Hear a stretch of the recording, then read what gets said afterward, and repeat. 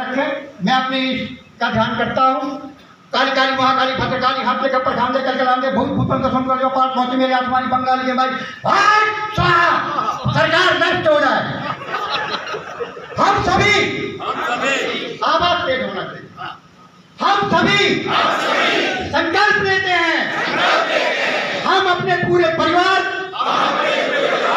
मोहल्ले वालों नाते रिश्तेदारों को हम प्रेरित करेंगे ये सरकार निकम्मी है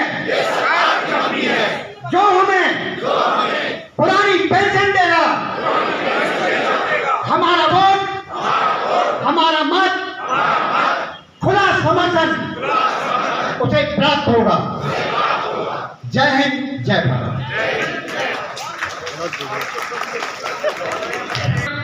के लिए बीपीएल का कार्ड सरकार नहीं बनाती। सेवानिवृत्त शिक्षक के लिए अंत्योदय योजना टाइप की कोई योजना नहीं होती।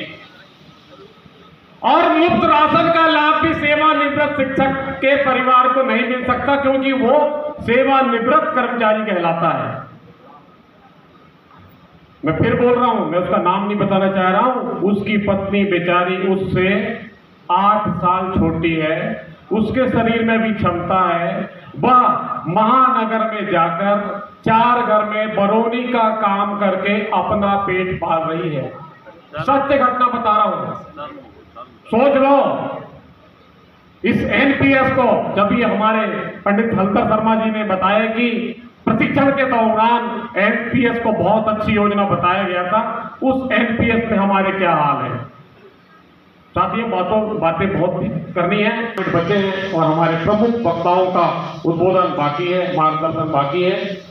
मैं अगले वक्ता के रूप में हमारे मार्गदर्शक, हमारे वरिष्ठ शिक्षक, हमारे समय समय पर हर वक्त मार्गदर्शन प्रदान करने वाले, चाहे वह शिक्षक संघ के जिलाध्यक्ष के रूप में हो, वर्तमान में आप संभागीय उपाध्यक्ष है। श्री विजय शुक्ला जी से निवेदन करता हूँ कि आप आए और हमें आशीर्वचन स्वरूप संबोधित करें।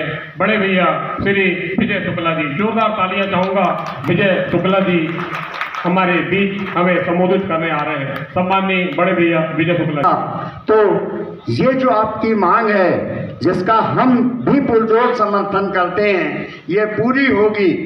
रही बात सरकारों की छलने की, चाहे वो कोई सरकार हो, दिग्विजय सिंह हो, या शिवराज सिंह हो, उन्होंने सभी कर्मचारियों को छला है। हमारे शिक्षक साथी, लगभग 40 वर्ष अनिल शर्मा जी यहाँ बैठे हैं, एक ही पद पर, एक ही दायित्व का निर्वहन करते हुए वे विगत वर्ष सेवानिवृत्त हो रहे हैं। तो ऐसी सरकारें हैं घोषणा ज़रूर होती है। अभी शिक्षक संघ का एक बहुत बड़ा सम्मेलन भोपाल में हुआ था। उसमें ये बात कही गई थी कि एक माह के अंदर शिवराज सिंह मंच से आकर सभी को उच्च पद का प्रभार देंगे। किंतु एक माह नहीं, लगभग दो माह बीत चुके हैं। सरकारें अपनी बात कराती हैं और हम उसका समर्थन करके उनके जयकारों के नारे लगाते हैं। मैं मंच से आपसे यही बात कहूँगा बहुत ही ओजस्वी वक्ताओं ने अपनी बात कही है और कुछ मात्र शक्तियों ने भी अपनी बात को कही है। मैं तो वही कहूँगा जो भाई हलदर शर्मा ने जी ने कहा है कि हम वोट उसी को दें जो हमारी बात को पूर्ण निष्ठा के साथ करने की का बात करे। लोग हमें कहते हैं कि शिक्षक संघ भारतीय जनता पार्टी या आरएसएस से संबद्ध है। हम ये कहते हैं कि हम किसी से संबद्धता नहीं रखते। हम केवल उससे संबद्धता रखते हैं जो कर्मचारी हित की बात करता है। अपनी बात रखते हैं। मैं आपसे निवेदन करता हूँ, आप भी अपनी बात रखें। और हमने अभी अभी शपथ ग्रहण किया है। हमारे बड़े भैया पंडित मंगल शर्मा जी ने हमें शपथ दिलाई है। वो शपथ कैसे पूरी होगी? हमें अपनी बात रखनी पड़ेगी। और बातों के इसी क्रम को आगे बढ़ाते हुए अब हमारे जिला अध्यक्ष महोदयों के बोलने की बारी आई है। बहुत कम समय बचा है। चार लाइन के साथ नाम बाद में बोलूँगा। यूँ ही नहीं, खड़े होते बुलंदियों के महल यूँ ही नहीं खड़े होते, बुलंदियों के महल, जीवन का एक हिस्सा दांव पर लगाना होता है। अध्यक्ष इतनी आसान नहीं है। बहुत संघर्ष करना पड़ता है। यहाँ से लेकर भोपाल तक की सारी जिम्मेदारियाँ यूँ ही नहीं खड़े होते, बुलंदियों के महल, जीवन का एक हिस्सा दांव पर लगाना होता है। करोड़ों लगाने से दिल के कारोबार नहीं चलते। करोड़ों लगाने से दिल के कारोबार नहीं चलते। या दिल में विश्वास जगाना होता है। हर इंसान के दिल में विश्वास जगाना होता है। ऐसे विश्वास के धनी भाई कपिल बघेल जी को आमंत्रित कर रहा हूँ। आज़ाद इस रूप में शिक्षक शिक्षिकाओं की बात रखने के लिए सामने आया। चूँकि बातें बार बार आती थी कि इनका संग, उनका संग, अब इनका आह्वान, अब उनका आह्वान इस बात को ध्यान रखते हुए विचार किया गया कि सब लोग संयुक्त रूप से, चूँकि मांग एक ही है, हम संयुक्त रूप से अपनी बातें सरकार के समक्ष रखते हैं। ज़रूरी नहीं कि ये पाँच संघ हो, ये तो शुरुआत है। इसमें दस भी हो सकते हैं पंद्रह भी हो सकते हैं बीस भी हो सकते हैं, ये अभी मात्र एक शुरुआत है। हम संयुक्त रूप से अपनी बात रखेंगे। इस बात का निश्चय अब हमने किया है। और इस बात का निश्चय पूरे प्रदेश में हुआ है।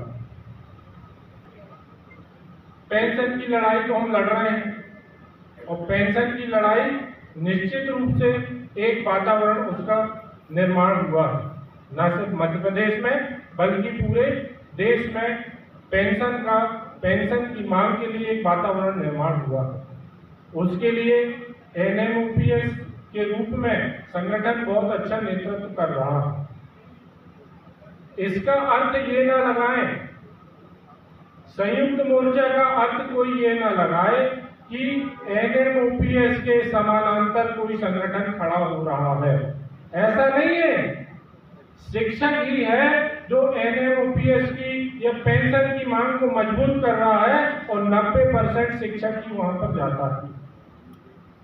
इसका मतलब बिल्कुल नहीं है कि इसके पैरेलल में कोई संगठन खड़ा हुआ क्यों खड़ा हुआ है? मैं अब उस मुद्दे पे आता हूँ। हमारे मन में शंका जागृत हो गई। छत्तीसगढ़ में भी पेंशन लागू हो गई। हमारे मध्य प्रदेश में भी हम सुन रहे हैं कि हमारी गिनती कब से होगी? 2018 से होगी। यदि हमारी गिनती 2018 से होगी और पेंशन भी हम दिला रहे हैं और हम स्वयं वंचित रह जाएँगे तो ये तो हमारे साथ बहुत बड़ा धोखा हो जाएगा। इतना बड़ा धोखा, इतना बड़ा आंदोलन हमने खड़ा किया, इतना बड़ा आंदोलन पूरे प्रदेश में शिक्षकों ने खड़ा किया और लास्ट में जाके शिक्षक ही उससे वंचित रह गया, तब हमारी बात कौन सुनेगा? सब तो अपना अपना पेंशन लेके चुपचाप बैठ जाएँगे। लेकिन शिक्षक की बात कौन करेगा? मध्य प्रदेश के अध्यापक शिक्षक की बात कौन करेगा? मध्य प्रदेश की अध्यापक शिक्षक को सरकार के सामने रखने कौन जाएगा? इस बात का, इस उद्देश्य के साथ हम अपनी बातें जो है, यहाँ पर रख रहे हैं।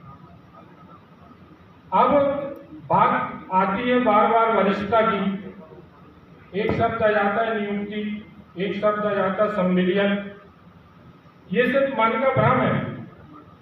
सम्मिलियन भी वही है, नियुक्ति भी वही है। हमारे यहाँ कहते कि नियुक्ति हो गई। सम्मिलियन हो गया, छत्तीसगढ़ में नियुक्ति हो गई। न छत्तीसगढ़ मिल रही है और न हमारे यहाँ गणना होगी तीस वर्ष की। तब तो हमको पेंशन मिलेगी। यदि उतनी हमारी सेवा अवधि नहीं होगी तो हमको पेंशन कैसे मिलेगी? सरकार के समक्ष हमारी प्रमुख मांग है कि हमारी जो अंठानवे से या संतानवे से है, उस सेवा अवधि को पूरी आप गिनो। उस सेवा अवधि को 2018 तक गिनो और 2018 के बाद तक जहाँ तक जा रही है, वहाँ तक आप गिनिए।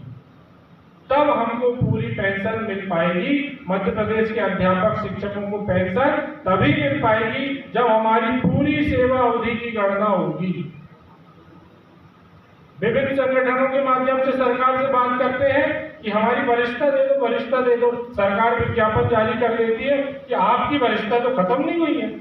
आपकी वरिष्ठता तो है। बोले, अंठानवे वाले को सत्तर हज़ार मिल रहा है और दो हज़ार तेरह वाले को पैंतालीस हज़ार मिल रहा है। तो बोले, सत्तर हज़ार क्यों मिल रहा क्योंकि आप, आपकी वरिष्ठता है। हम मान रहे वो चीज़ हम मान रहे वो चीज़ लेकिन हमको वेतन की वरिष्ठता आपने दे दिया, बहुत अच्छी बात है। हमको पेंशन में भी वरिष्ठता चाहिए। पेंशन में हमको सेवा अवधि की गणना चाहिए। उस सेवा अवधि की गणना से हम वंचित ना हो जाए। इस बात के लिए अध्यापक संयुक्त मोर्चा का गठन हुआ। ये किसी के प्रतिद्वंदिता में नहीं है, किसी के पैरेलल संगठन नहीं है। हम मध्य प्रदेश का अध्यापक शिक्षक, अपनी मांग से वंचित न हो जाए, इसके लिए यहाँ पर एक संगठन बना। दूसरी बात, भाई, तहसीलदार साहब को पेंशन मिल जाएगी, उनको ग्रेजुएटी भी मिल जाएगी। हमको अभी इस बात का कोई निश्चित उल्लेख नहीं है कि हमको रिटायरमेंट में ग्रेजुएटी मिलेगी या नहीं। तो हमारी बात कौन करेगा? हमारी बात कौन करेगा? हमारी बात एन एम नहीं करने वाली। उनका बहुत बहुत धन्यवाद। आप पेंशन में हम आपके साथ हैं और आप हमारे साथ हो। लेकिन शिक्षक की ग्रेजुएटी की बात तो शिक्षक को ही करना पड़ेगा। शिक्षक को ही करना पड़ेगा। संयुक्त मोर्चा जिंदाबाद। जिंदाबाद जिंदाबाद। हमको ग्रेजुएटी नहीं मिली तो रिटायरमेंट का कोई मतलब नहीं। है इतने वर्ष सेवा अवधि में रहने के बाद भी हमको ग्रेजुएटी का पैसा नहीं मिला तो हमारी सेवा का कोई मतलब नहीं सब विभागों में अनुकंपा नियुक्ति जारी हो गई। और पुलिस विभाग में तो कोई दस साल का लड़का, कोई बारह साल का लड़का, कोई चौदह साल का लड़का। उसके यहाँ घर में भी यदि कोई असमय मृत्यु हो जाती है, नौकरी वाली तो उसको उसी बारह साल की उम्र में नौकरी दे दी जाती है। और हमारी अनुकंपा नियुक्ति की सेवा शर्तें आप पढ़ के देखिए। इतनी कठिन सेवा शर्तें हैं कि उतने में तो नई भर्ती आदमी प्रतियोगी परीक्षा में पास होंगे और नई भर्ती में शामिल हो जाए तो वो अनुकंपा अनुकंपा कहाँ रह गई? वो अनुकंपा नहीं है।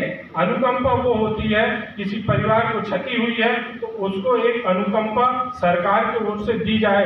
इनने अनुकंपा की परिभाषा ही बदल दी है। इतनी शर्तें लगा दिए, इतनी शर्तें लगा दिए कि एक जो दुखी महिला है या उसके दुखी बच्चे हैं, वो कैसे प्रतियोगी परीक्षाओं में पास होंगे?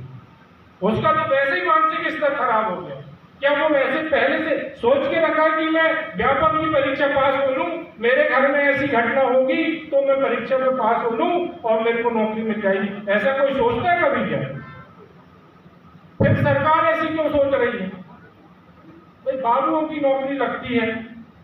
उनको सीपीसी की बाद में परीक्षा ले लेते दस दस साल तक परीक्षा लेते लोग नौकरी लगने के बाद हमारी व्यापम की परीक्षा पैसे पहले ले रहे ये बात एन एम नहीं करने वाली मेरे भाइयों, ये बात शिक्षक को ही करना पड़ेगा, क्योंकि तुम्हारे परिवार का सवाल है, तुम्हारी अनुकंपा नियुक्ति का सवाल है।